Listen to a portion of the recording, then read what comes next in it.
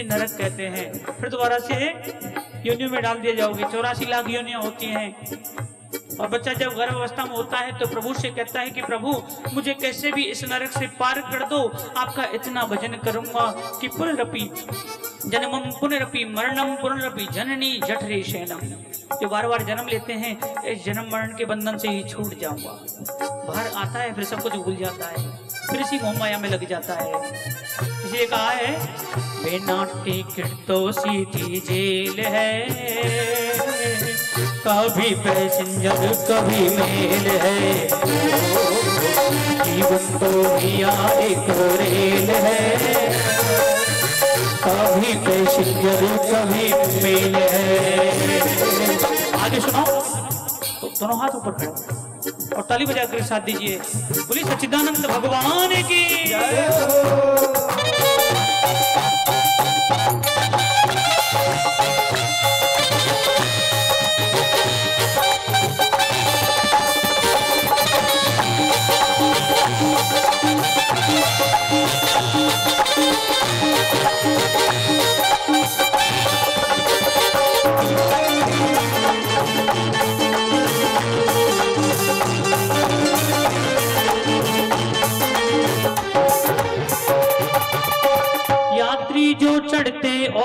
उतरते हैं।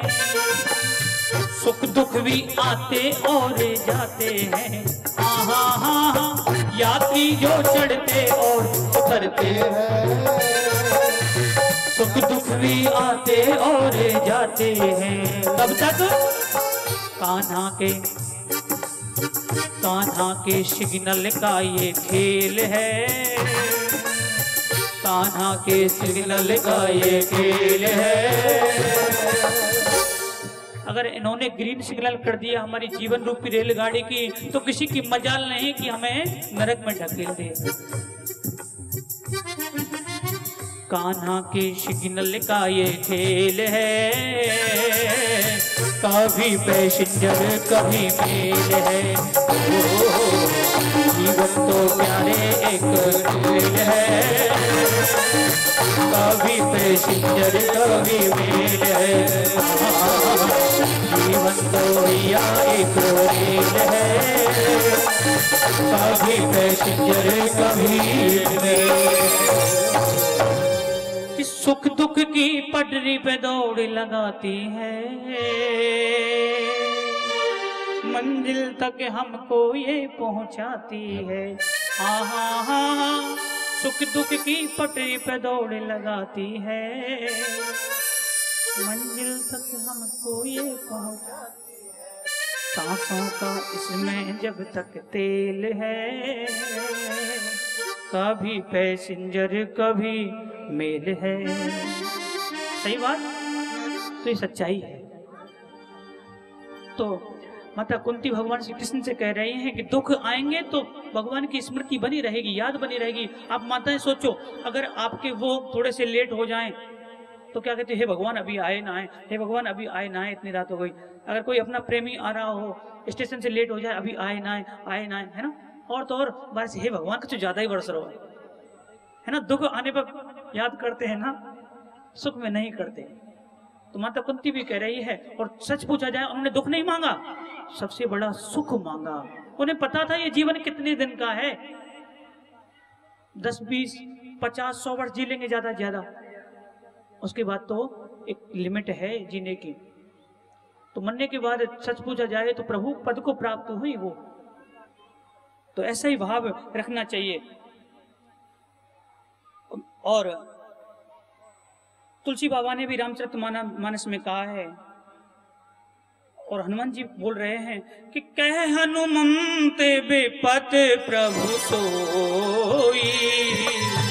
कह हनुमंत बेपत प्रभु सोई। जब तब भजन न सुमिरन होई। जब तब भजन न सुमिरन होई। कहते हैं, जब तक दुख नहीं आएगा, तब तक सुमरण नहीं होगा। तो ऐसा प्रयास करें कि दुख हो या सुख हो, सदैव प्रभु का स्मरण करते रहें, प्रभु का ध्यान करते रहें। अब भगवान श्री कृष्ण कहते हैं कि मैंने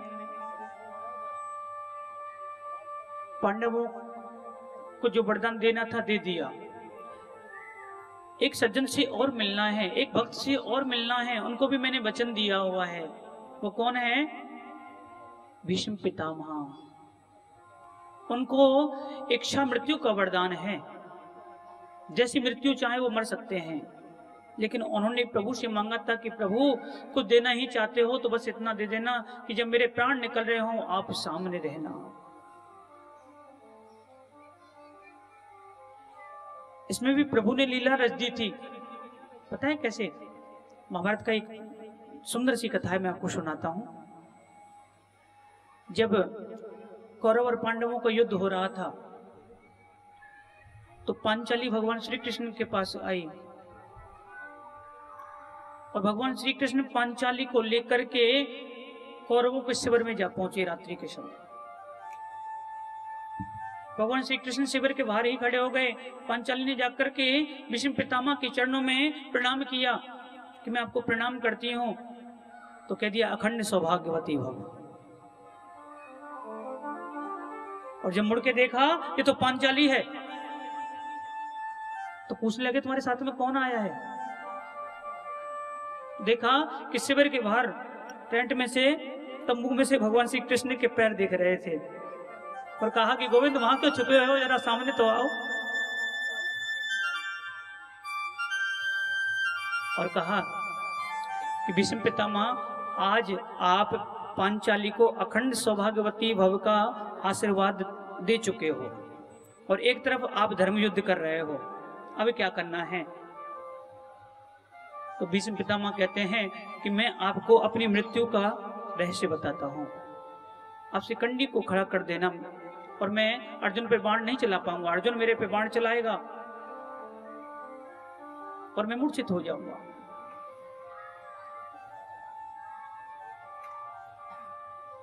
तो ऐसा ही हुआ। और भगवान श्री कृष्ण ने कहा कि प्रभु, मेरी इच्छा है जब मेरे प्राण निकल रहे हो, आप सामने आ जाना। तो भगवान श्री कृष्ण कहते हैं, अब भीष्म पितामह के साथ चलना चाहिए।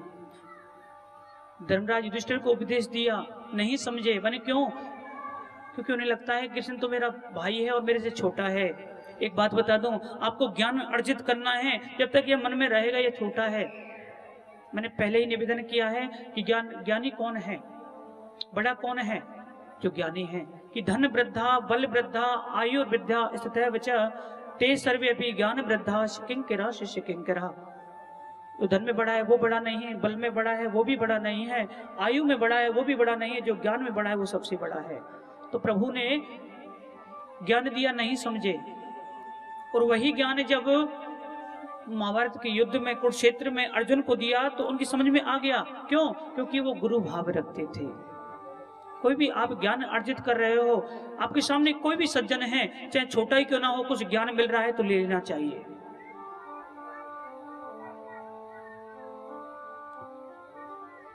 तो कह दिया ठीक है प्रभु, अंतिम समय आप मेरे सामने रहना। उधर युधिष्ठिर से कह दिया कि क्यों चिंता करते हो? आपके भाई गुजर गए तो क्या हुआ? आप राजपाट संभालो। कहते हैं, इस राजपाट को कैसे संभालो? इतनी हत्याएँ हुई हैं। तो भगवान श्री कृष्ण कहते हैं, युधिष्ठिर, ऐसे नहीं मानेंगे। इनको भीष्म पितामह के पास लेके जाना पड़ेगा। उनके अंदर विराजमान होकर के बोलूँगा मैं, लेकिन उनसे बुलवाऊँगा। और जैसे ही पाँचों पांडव और पांचाली भीष्म पितामह के पास आए तो पांचाली कहती है, मैं द्रौपदी, आपके चरणों में कोटि कोटि नमन करती हूँ। अर्जुन कहता है, मैं आपको दंडवत प्रणाम करता हूँ। पाँचों पांडवों ने बारी बारी से प्रणाम किया। और गोविंद कहते हैं कि, भीष्म पितामह, देखो, आपके जो पाँचों पांडव हैं, इन्होंने हस्तनापुर और इंद्रप्रस्थ पर विजय प्राप्त कर ली है और आज आपसे मिलने आए हैं। आप इनको आशीर्वाद दो, इनको उपदेश दो। तो भीष्म पितामह उपदेश दे रहे हैं कि आपकी शरण में कोई आ जाए, दुश्मन भी आ जाए तो उसको अपनी शरण देना। और कोई कोई निर्धन व्यक्ति है, उसकी सहायता करना। और तो और आपके सामने किसी की इज़्ज़त लुट रही हो, किसी को बेइज्जत किया जा रहा हो, किसी की लाज जा रही हो, आप समर्थ हैं बचाने में तो बचाना नहीं, बचा सकते तो वहाँ से भाग जाना। इतने में ही पांचाली को हँसी आ गई। विष्णु पितामा कहते हैं, बेटी, तुम क्यों हंस रही हो? ना ना विष्णु पितामह ऐसी हँसी मुख से निकल गई। कहने लगे, बेटी, कुछ तो बात है मुझसे बोलो ना। मैं ये बोझ लेकर के नहीं मर सकता। मुझे इच्छा मृत्यु का वर प्राप्त है। और चालीस दिन तक मैं इस बाणों की सैया पर लेटा हुआ हूँ। कुरुक्षेत्र की रणभूमि में चालीस दिन तक बाणों की सैया में लेटे हुए थे। बेटी, बोलो ना, जो मन के अंदर जिज्ञासा है वो कहो। मैं ये पाप लेकर के नहीं मर सकता। तो पांचाली कहती है कि, विषम पितामा एक वो दिन था, याद करो जब दुर्योधन ने मेरा चीर हरण करना चाहा और कहा कि इसको निर्वस्त्र करके मेरी जंगा पर बिठा दो, उस समय मैंने सबसे गुहार लगाई। उस सभा में विष्णु पितामा आप भी थे दृष्टिराज भी थे गुरु कृपाचार्य भी थे। जितने भी वहाँ महानुभाव थे, सब थे। किसी ने मेरी सहायता नहीं करी। उस दिन आप कहाँ चले गए थे? आज उपदेश दे रहे हो। वो तो शुक्र है मेरे कन्हैया का कि मेरे कन्हैया ने मेरी लाज बचा ली। जब चीरहरण हो रहा था तो द्रौपदी ने एक हाथ से साड़ी के पल्लू को पकड़ा हुआ है, एक हाथ से कन्हैया को पुकार रही है कि, कन्हैया, आज तो मेरी लाज तुम्हारे हाथ में है। तो रुकमणी जी कहती हैं, जाते क्यों नहीं हो? आपकी दासी आपको बुला रही हैं। कन्हैया कहते हैं, नहीं जाएँगे। बोले क्यों? बोले कि एक हाथ से साड़ी पकड़ी हुई है और एक हाथ से हमें बुला रही है। इसका मतलब है कि संसार वालों में अभी भी उसे आशा है कि पाँचों पांडव मुझे बचा लेंगे दृष्टिराज मुझे बचा लेंगे विष्णु पिता में मुझे बचा लेंगे, गुरु द्रोणाचार्य मुझे बचा लेंगे। और दुशासन ने ज़ोर से झटका मारा तो दूसरा हाथ भी उठ गया तो गोविंद कहते हैं, अभी जाएँगे। जब तक पूर्ण समर्पण नहीं होगा, तब तक गोविंद नहीं आएँगे। तभी तो कहते हैं, दोनों हाथ क्यों उठाए जाते हैं? कहते हैं जय जय श्री राधे, जय जय श्री राधे, जय जय श्री राधे। दोनों हाथ इसीलिए उठाए जाते हैं। तो विषम पितामा कहते हैं कि, बेटी, मैं तुम्हारा गुनाहगार हूँ, मैं ये स्वीकार करता हूँ। लेकिन आज मैं इन बाणों की सैया पर हूँ। आपने देखा, देख रही हो बेटी, मेरे शरीर से रक्त बह रहा है। ये रक्त पता है क्यों बह रहा है? क्योंकि इस रक्त में उस पापी दुर्योधन का अन्न है। मैंने उसका अन्न खाया है। और उसकी वफादारी के लिए मैंने वो युद्ध लड़ा। उसकी तरफ़ से मैं लड़ा। लेकिन हाँ अब मेरे शरीर से जो उसका अन्य का रक्त था, वो निकल चुका है। तो द्रौपदी कहती है भीष्म पितामह क्षमा करना मेरा ध्येय आपकी आत्मा को ठेस पहुंचाना नहीं था। तो सवाल जवाब और होने लगे। तो भीष्म पितामह कहते हैं, आप चुप रहो। पांडवों को चुप कर दिया और कहा कि, अब मेरी और गोविंद की वार्तालाप होंगे। तो भीष्म पितामह कहते हैं कि, कन्हैया, मुझे वो दिन याद है कि जब मैंने प्रतिज्ञा करी थी कि जो ना हरि शस्त्र गहाऊ तो लाजो गंगा जननी को। अगर मैंने हरि से, प्रभु से शस्त्र नहीं उठवाया तो मेरा नाम भी भीष्म पितामह नहीं। जब महाभारत का युद्ध हो रहा था तो भीष्म पितामह बाणों पे बाण छोड़े जा रहे थे। एक दो बाण तो भगवान कृष्ण की बाजू पे दिया और एक आध उनके ऊपर से निकल गया। तो भगवान श्री कृष्ण कहते, अर्जुन, क्या करते हो? बचाओ। अर्जुन, बचाओ, ये बूढ़ा बाबा तो कमाल कर रहा है, मार देगा। तो अर्जुन कहता है, ये भीष्म पितामह है, इनका नाम, इनसे युद्ध करना कोई मामूली खेल है क्या? तो भगवान कृष्ण ने देखा, ये तो मार देंगे तो रथ का पहिया पड़ा हुआ तो उसको लेकर के ऐसे उठाया और भीष्म पितामह कहते थे, कन्हैया, लो आ गया यही तो चाहता था मुझे मार दो। मैं और कुछ चाहिए, मार दो। यही तो चाहता था कि आपकी प्रतिज्ञा टूटे। और यहाँ पर भगवान ने एक भक्त खातिर अपनी प्रतिज्ञा तोड़ दी। अपनी पीता पीताम्बरी जब कंधे से गिरी उत्तरी जब उनके कंधे से गिरी तो पूरी पृथ्वी कांपने लग गई। उत्तरी ने पृथ्वी को समझाया, आप बिल्कुल चिंता मत करो। एक भगवान की खातिर एक भक्त की खातिर भगवान ने अपनी प्रतिज्ञा त्यागी है। तो भीष्म पितामह कहते हैं कि गोविंद, आपने भक्तों के लिए अपनी प्रतिज्ञा भी तोड़ दी। मैं आपसे कुछ कहना चाहता हूँ। मैं आपको अपनी पुत्री भेंट करना चाहता हूँ। पुत्री? पांडव कहते हैं, इन्होंने शादी कब कर ली? ये तो कुआरे थे। मैंने कहने लगे, जो मती रूपी पुत्री है, वो मैं आपको दान करना चाहता हूँ। इसी में किस किसी भी प्रकार का द्वेष नहीं है। और ये कहते हुए भगवान की छवि को निहारते हुए विषम पितामह प्रभु, प्रभु पद को प्राप्त हो गए। बोलिए भक्त वत्सल भगवान की जय।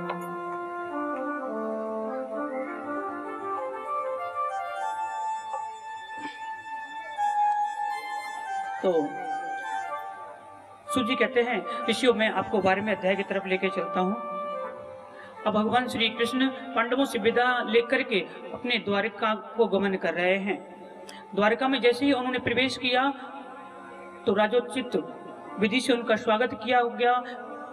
उनके ऊपर पुष्प आदि बरसाए गए और भगवान कृष्ण जैसे ही अपनी द्वारिका में आए, सभी द्वारकावासी बड़े हर्षोल्लास से प्रफुल्लित हो गए और भगवान ने आते ही अपने माता पिता के चरणों में नमन किया। वसुदेव जी और माता द्रौपदी के चरणों में दंडवत हो गए। और होना भी चाहिए कि अभिवादनशील नित्यम वृद्धो विषेविन चत्वारी तस्य वर्धन्ते आयुर्विद्या यशो बलम। यानी कि बुज़ुर्गों के अपने माता पिता को ब्राह्मणों के चरणों में नमन कर, करने से चार चीज़ बढ़ती हैं। आयु विद्या यश और बल। ये शास्त्रों का कहना है। तो माता देव की कहती देखो तो सही, मेरा पुत्र इतना बड़ा राजा है, फिर भी मेरे को अपने संस्कारों को नहीं भूला है। देखो प्रेमियों, धन कमाना कोई बुरी बात नहीं है। अच्छी अच्छी बिल्डिंगे बिल्डिंगे खड़ी करना कोई बुरी बात नहीं है।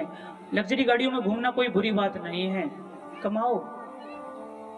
खूब महल धुमेले खूब खड़े करो, लेकिन अपने संस्कारों को मत भूलो। संस्कार कब भूले जाते हैं? जब हमारे पास पैसा आ जाता है। पैसा आ जाता है तो हमारे संस्कारों में अभाव आ जाते हैं।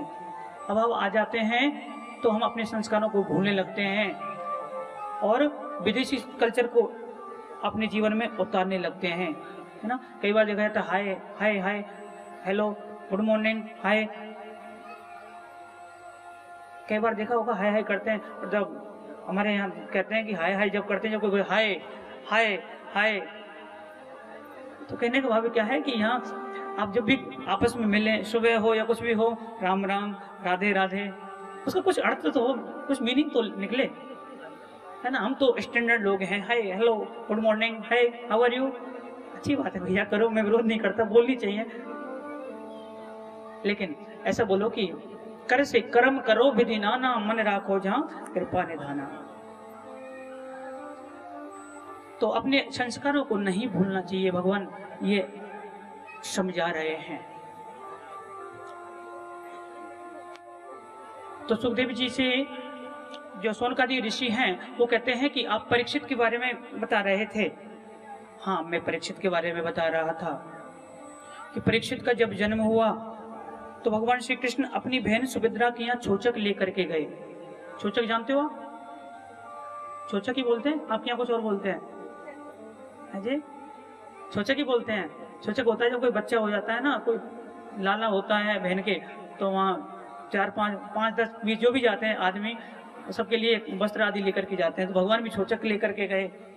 और वहाँ पर जब परीक्षित को देखा तो धर्मराज कहते हैं कि ऐसा बच्चा मेरे कुल में पहली बार पैदा हुआ है कि पैदा होते के साथ में आलती पालती मार करके बैठ गया और परीक्षण कर रहा है, देख रहा है इधर उधर कि वो कहाँ है?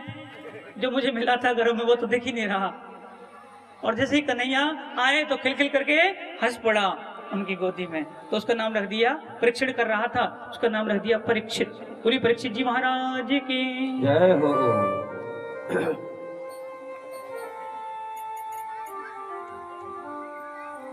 तो सूजी कहते हैं ऋषियों विदुर जी ने दृष्टिराज को उपदेश दिया।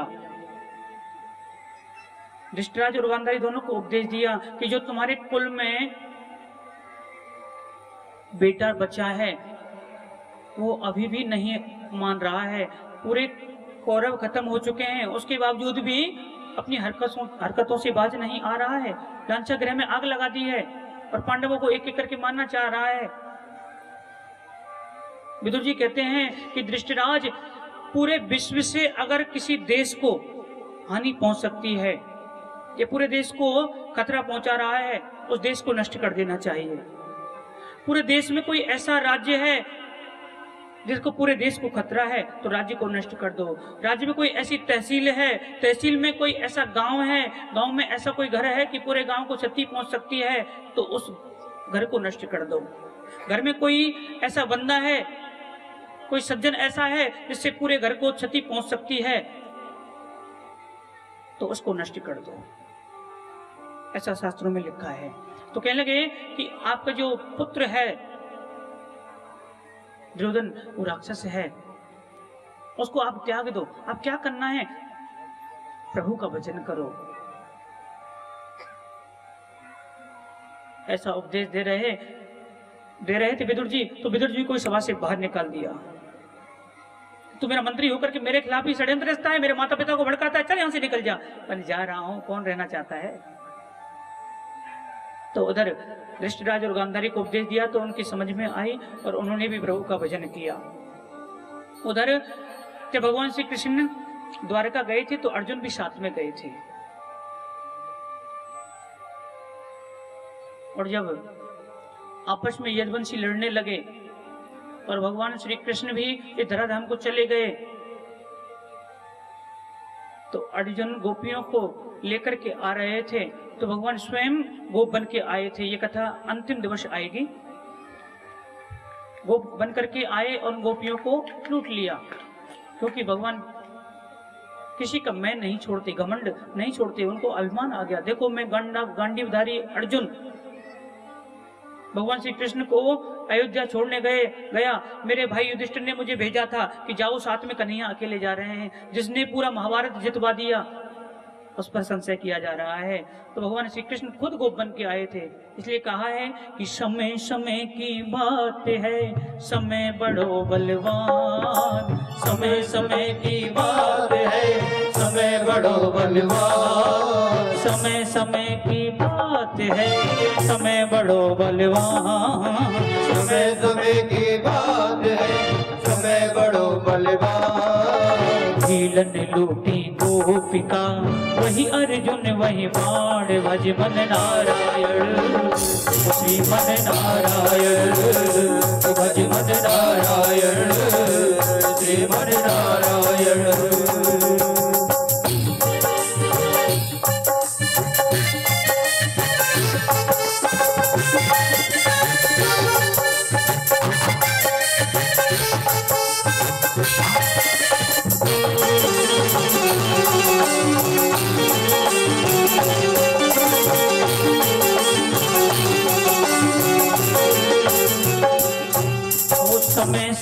की बात है, समय समय के फेर समय समय की बात है, समय समय के खेल समय समय पे धूप है, समय समय पे मेघ भज मन नारायण मन नारायण मन नारायण मन नारायण। तो समय समय की बात है।